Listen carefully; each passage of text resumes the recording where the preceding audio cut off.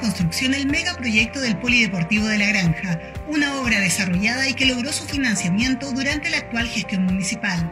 Desde hace algunas semanas se iniciaron los movimientos de tierra de esta faena solo con el personal autorizado según las normas de salud que se han establecido en esta época de pandemia y con las medidas de protección para los trabajadores de la obra.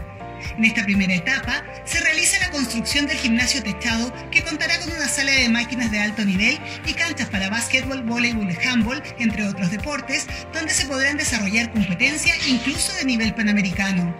Además, esta primera fase también contempla la construcción de una piscina techada temperada semiolímpica que permitirá a nuestros vecinos y vecinas contar con un espacio deportivo de alto estándar. La segunda etapa considera una cancha empastada con galerías, pista de atlética y un boludar, entre otras características, un proyecto integral que cuenta con toda la construcción e implementación con eficiencia energética.